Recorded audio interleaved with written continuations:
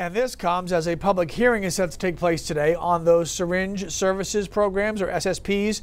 Representative Genevieve McDonald out of Stonington is sponsoring a bill which aims to reduce restrictions on SSPs by eliminating the rule that requires one for one needle exchanges. So, what that means is the program would be able to distribute clean needles to people regardless if they are turning in a used needle or not.